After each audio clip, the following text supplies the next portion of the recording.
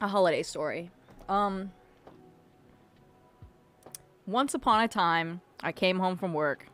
I was very tired, very disheveled, very ready to take a little nap before stream. I was downtrodden. My heart, it was sore. And then I found my roommate left a book of vampire porn on my fucking bed.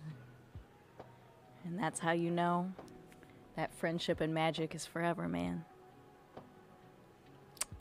That's Christmas.